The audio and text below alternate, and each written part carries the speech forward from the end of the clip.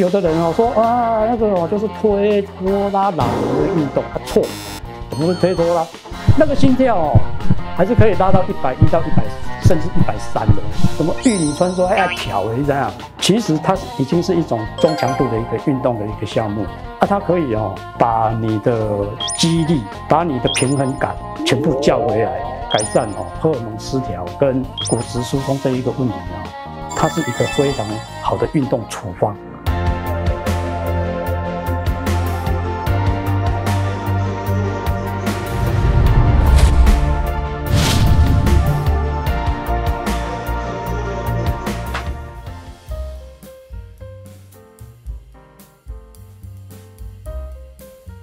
民国一百零三年哦，去参加那个戈壁的挑战赛，哦，回来的时候是五月这样子，也横渡日月潭，也爬过一些百岳了，对不对？单车也骑了，哦，那这个再过来要什么样的活动呢？哦，你知道我太太决定什么呀？铁人三项，就把海陆空的结合起来。我说好好好，那我们呢就跟大家去练。后来民国一百零四年哦。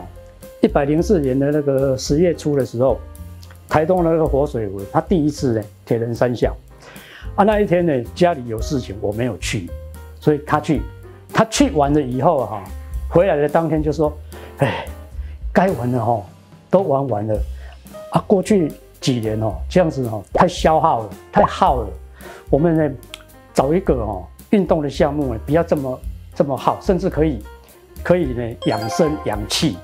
他就跟我讲说：“我们呢再去打太极拳吧。为什么叫做再去打太极？因为十几年前哦，其实我们曾经参加过一两个团体，太极导引呐，啊，然后那个郑曼青正直的啊，都有参加，可是都不是很久，没有持续。为什么没有持续？我告诉你一个原因哦，学太极拳哦，没那么容易。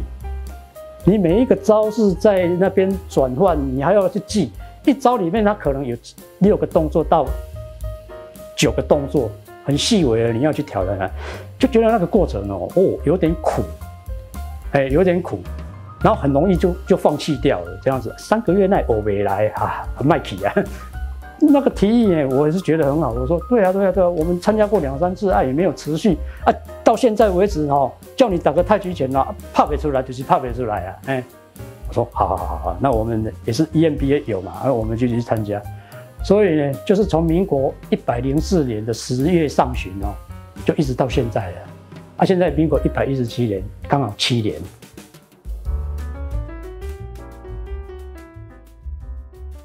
太极其实是一种哲学跟思想，可是他希望你用在你的身心灵上面，你可以去好好的应用。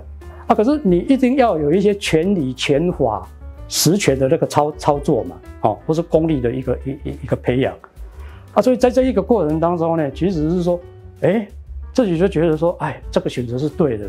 有的人哦说啊，那个哦就是推拖拉老人的运动，啊错，怎么是推拖拉？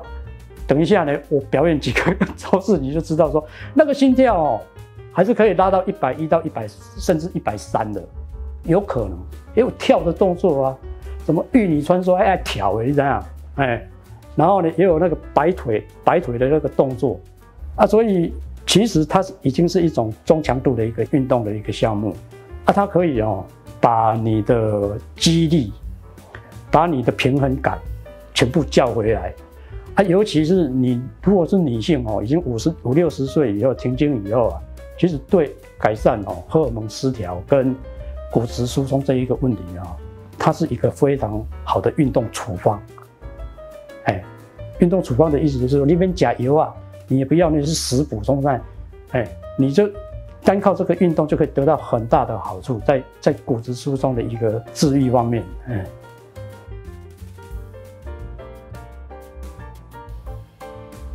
因为我有很好的体悟啊，所以像像这个是前年的十一月。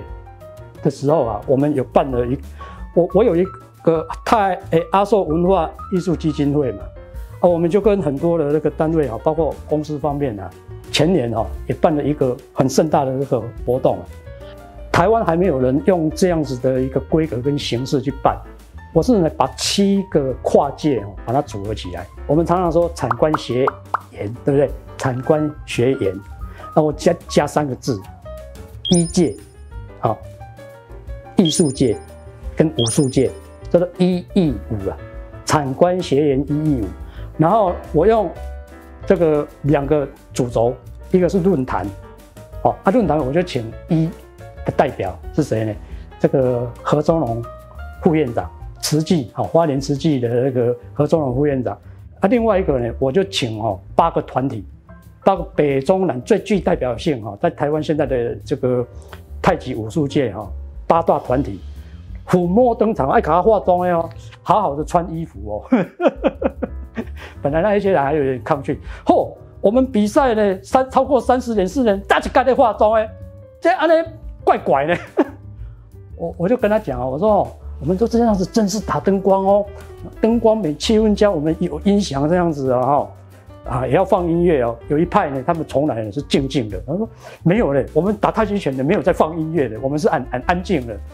啊，最后还是要放音乐，就是一一每每一个团体的特性把他说服，哦，他不肯化妆，他说啊，那个其他的七个团体哦，到时候哦，人家的脸哦都不会反光哦，看起来很顺，你们这个哦就不行了，因为没有稍微哦这样子粉饰一下不行的啊，这样子才乖乖的，就是论坛加展演的一个方式来推广太极拳，所以你你不是觉得这个很好，你怎么会投入一些心血跟金钱呢？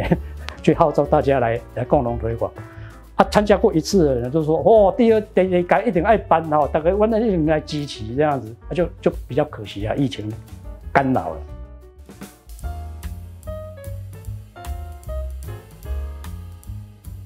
我就说，太极本来就是一种哦很高的内在的修为，你可以应用在很多的层面，或是很生活化的的应用这样子。啊，你学第一堂课，老师。太紧了，松一下，现在太紧张了，松啊松，什么叫做松？而且开始在体会了，哦，你不是你不是在求一种学问、一种理论而已，就是说，哎哎，你开始要操作啊，老师说我太紧了，松啊松，啊，第一步是松，啊，第二步是什么呀？松了以后呢，开始打拳嘛，第一招、第二招就开始，哎，太僵硬了，你要柔软一些，要柔顺一些，所以呢，一松。二柔还有一个误解哦，就是说哦啊，来来比我们的力量。太极拳呢不讲不讲用力，是讲用劲，劲劲这一个字。所以我刚才讲的那个大白话，意思就是说，学太极拳呢，你一定要从什么都不懂，到最后你的身心灵发挥出来是一种劲道。啊，你不能呢，好像是在学《论语》《中庸》《孟子》，就是我来读书，我就可以。悟到那一些东西，你要用你的身体的这个操作，叫过来嘛哈，松的感觉啊，这样叫做松。松之下，你才有可能呢柔，柔才能克刚，柔能成刚。后来刚柔并济，这一些道理，道理的话就是说说，嗯，原来应用在权术权理是这样，然后呢，应用在其他的方面呢，哎，又可以怎么样？哦，比如说人际上啊，事业经营上啊，可不可以应用？那那个空间才大。我我常常开玩笑，我说。我们一百多个店哦，我跟你讲了，九成哦是女性啊。我觉得这样很对劲啊，服务业，哎，女性比较柔啊。然后比如说，好了，南拳卖做行力就是要把这个产品呢，哎，卖出去，而且要大大大量的卖出去这样子。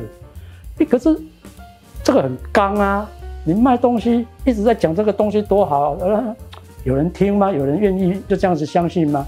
你现在怎么样呢？哎，一个客人来的时候，你了解他的需要啊。我靠哦，我那请 A 都会听啊。啊，为什么会痛？哦，原来是你们，你你有专业嘛？你先听他嘛。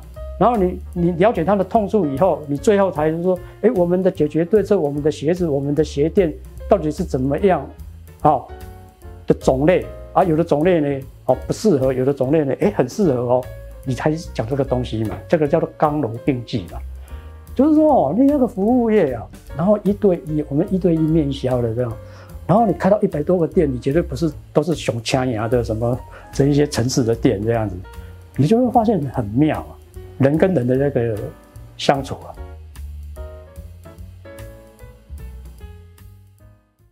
如果你喜欢早安健康影片，请帮我们订阅、按赞，要记得打开小铃铛才会收到我们的最新通知哦。